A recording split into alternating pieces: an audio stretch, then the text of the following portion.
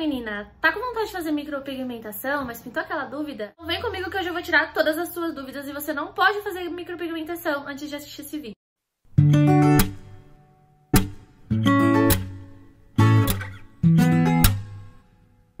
Bem-vindo ao meu canal, meu nome é Jéssica e toda segunda-feira eu posto vídeos interessantes que eu sei que você vai gostar, então já deixa o seu like aqui se inscreve no canal, lá nas redes sociais pra você saber sempre que eu postar um vídeo novo. Pra quem me acompanha no Instagram já sabe que eu fiz, eu fiz micropigmentação recentemente e essa semana eu fiz o retoque, tá?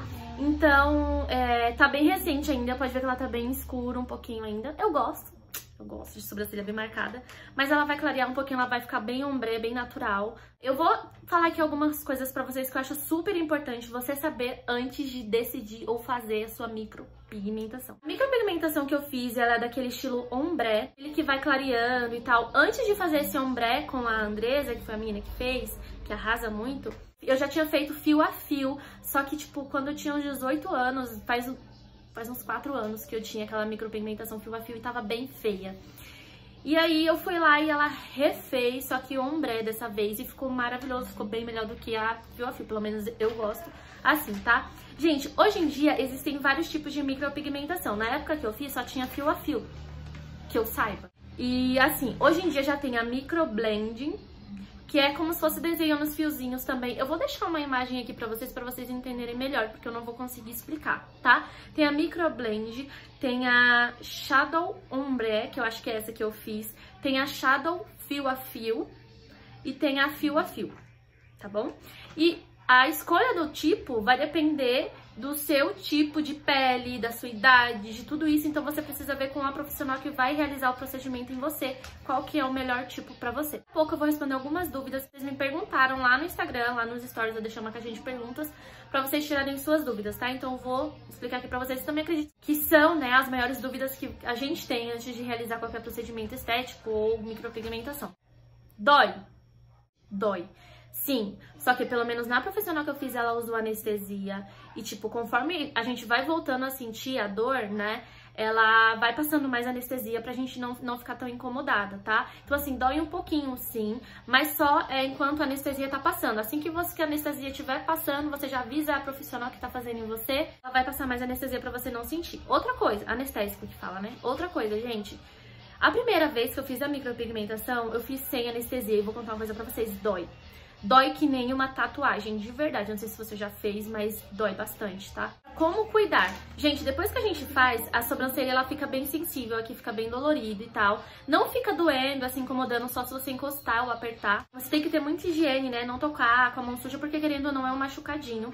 E assim, é, pra você cuidar, você precisa, pelo menos foi o que a Andresa me indicou e pra mim funcionou super bem. Ela é muito profissional, então assim, eu acredito que isso vale pra qualquer micropigmentação.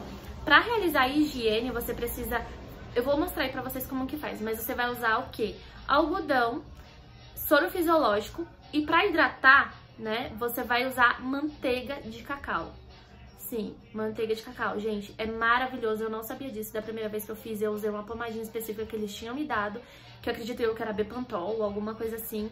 Mas, gente, a manteiga de cacau é maravilhosa. Você precisa limpar pelo menos Bom, ela pediu pra mim fazer todo dia, toda vez antes de dormir, eu acho. Limpar e passar manteiga de cacau. E a manteiga de cacau ir passando sempre, e evitar o sol também. A cicatrização, como funciona? É como se fosse um machucadinho. Então ele vai começando a criar uma casquinha, até incomoda um pouco porque coça. A gente fica agoniada querendo coçar, mas gente, não pode coçar. Se você coçar, ele vai falhar a sua, a sua coisa, porque não vai estar pronto ainda, entendeu? Ele vai falhar. Então o ideal, mesmo que coce, você deixar ele sair sozinho, não puxa, porque senão vai falhar a sua micropigmentação e daí você vai precisar fazer o retoque depois. Vamos lá tirar algumas dúvidas que vocês têm referente a isso, tá? É, eu tô vendo o papelzinho aqui, senão eu não vou lembrar, gente, me perdoem, mas não tem como.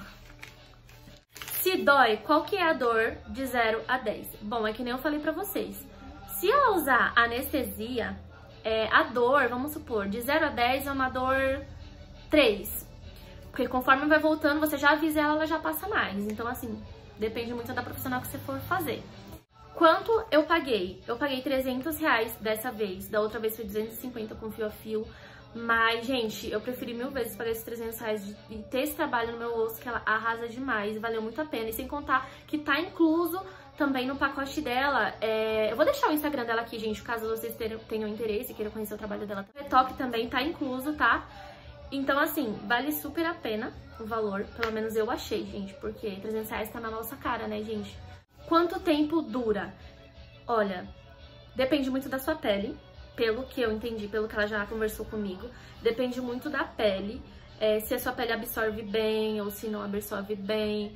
É, mas ela falou assim que a média é de seis meses a um ano, né? Que ela vai começando a clarear e ficar mais fraca, tá bom? Aí você precisa retocar. Onde eu fiz, gente? Eu fiz no estúdio MD com a Andresa. Já deixei no Instagram dela, vou deixar aqui de novo pra vocês, porque ela arrasa muito, eu super indico. Vou deixar uma foto aqui de como ficou a primeira vez que eu fiz. Essa vez agora ela tá escura, mas é por causa do retoque. Eu vou deixar uma foto de como estava a minha sobrancelha é, depois de cicatrizada, só com a primeira aplicação da micropigmentação, com a primeira, com a primeira sessão, né? Não sei como é que fala isso. Acho que é a primeira sessão. Com a primeira sessão ficou assim. É, e agora tá um pouquinho mais escuro. Ela falou pra mim que deixar um pouquinho mais marcadinho e tal. É, e eu achei que vai ficar maravilhoso, gente, porque já estava maravilhoso, né? Ela demais. Se tiver mais alguma dúvida referente à micropigmentação, deixa aqui embaixo que eu vou correr atrás pra responder, nem que eu tenho que mandar mensagem pra ela, pra ela conseguir ajudar a gente, tá bom? Bom, meus amores, é isso. Espero muito que vocês tenham gostado desse vídeo. Se você gostou e não deixou seu like ainda, deixa seu like aí agora, se inscreve no canal, me segue lá nas redes sociais, no Instagram, no Twitter e no TikTok também, tá bom? E é isso, meus amores. Um beijo e tchau. Até o próximo vídeo. Hoje eu tipo, vou te. Comigo que hoje eu te. Cara, comigo que hoje eu. eu não tô conseguindo falar. Meu Deus, o que aconteceu? Pronto, vamos lá, cadê o roteiro?